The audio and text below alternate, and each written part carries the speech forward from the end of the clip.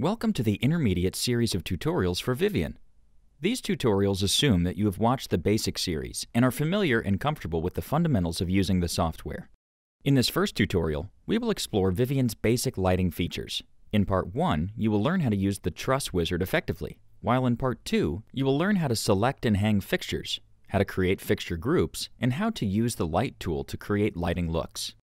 To start, I will open the last file that we worked on in the basic series, to which I've added a few new elements, such as the bride and groom, the band, the DJ, and a few new people on the dance floor, all in order to make the event more complete. The Truss Wizard is used to create hang structures, which are required in order to make event drawings more realistic. Since in real life fixtures do not float in the air, they may be placed on the ground for uplighting purposes. But even so, many fixtures cannot stand on their own and require a floor base.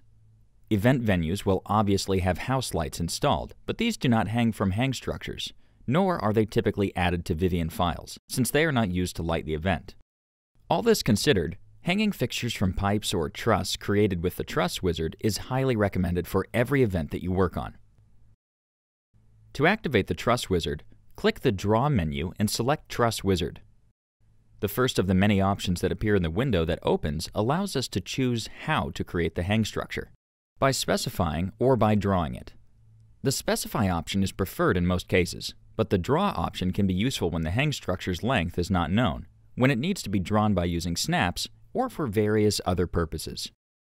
The units area is used to specify whether the hang structure is drawn in metric or imperial units, while the fixture direction option defines which way fixtures will hang from the hang structure. The shape options define whether the hang structure is going to be linear or circular. The type options define the kind of hang structure that will be created, and the orientation options define how it is going to be inserted and at what height. We will look at all these options in more detail and create various hang structures in a moment. But before we do that, let's cancel the Truss Wizard and add a new layer to our file, which will contain our hang structures.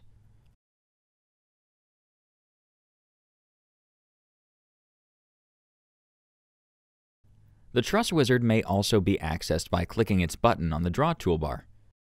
The first kind of hang structure that we are going to create is a pipe. So let's select this option in the Type area. The length of our pipe is 16 feet, which we can enter because the Specify Creation option is selected, and we will insert it horizontally at a height of 30 feet. It is important to note that the height defined in the Truss Wizard will override the height set by pressing Tab, which is currently 5 feet, as we can see on the status bar. Click OK. The pipe is now attached to the cursor, and I can click to place it above the tables on the left side of the venue. Much like any other object in Vivien, hang structures may be copied and pasted, which is faster than going through the truss wizard. So when multiple hang structures of the exact same type and length need to be inserted, this is preferred.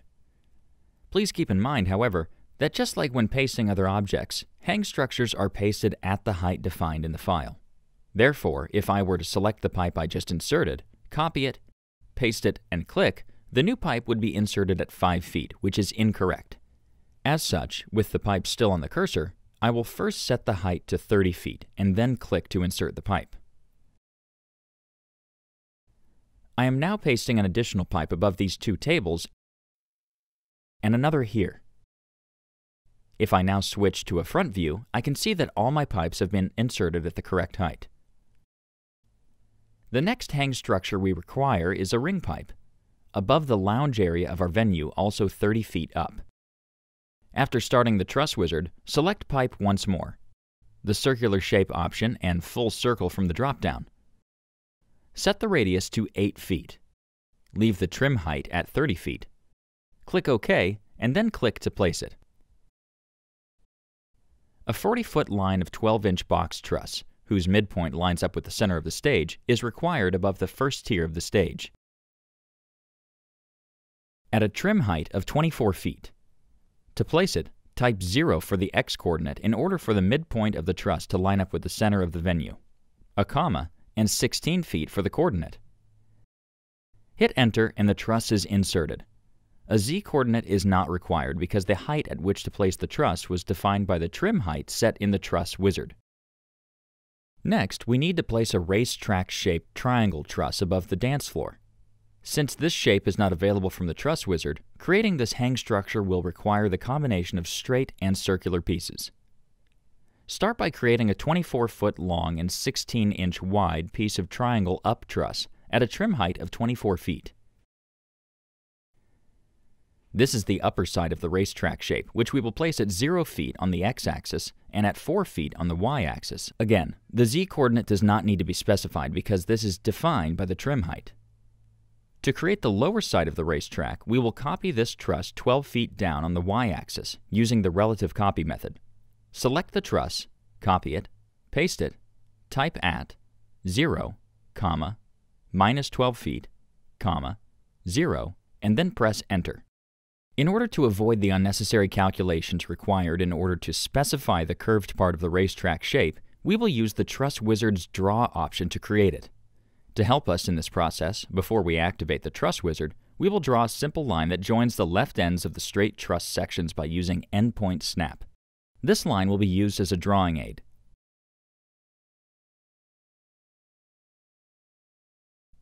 Once the line is drawn, start the truss wizard once more and set the necessary options. Select the Draw option, set the shape to circular half circle, and the type to triangle up with a 16 inch width in order to match the straight sections. Click OK. Vivien now prompts to define the center of this circular truss, so activate midpoint snap and click the middle of the line you just drew. Next, click the upper left corner of the upper straight section in order to set the half circle's radius and orientation. As soon as you click, the piece is inserted.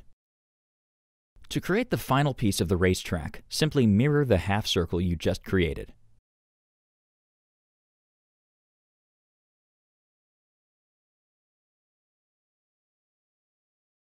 We can now delete the line that we drew because we no longer have need for it.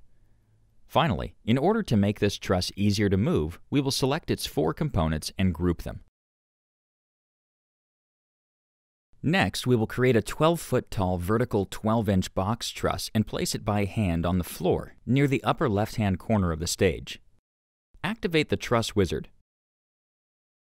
Set length to 12 feet. The orientation to vertical and height to 0 feet, since the truss will sit on the floor. Click OK, and then click to place the truss just in front of the stairs on the left. Finally, we need to place a floor base inside the vertical truss that we just created, which is required because the fixture that we will use as a truss warmer cannot sit on the floor on its own. Click the Truss Wizard one last time, select the floor base type, set the trim height to 0 because it needs to sit on the floor, and click OK. Zoom in and then place it. This concludes the drawing of the hang structures required for this event. We did not insert any hang structures on the right side of the venue because we will use Vivien's mirror feature to add them there. However, we will only do this after we hang fixtures from them in order to avoid having to hang fixtures twice. In part 2 of this tutorial, things will get more exciting as we tackle fixtures and their use. Don't forget to save your file, and thank you for watching.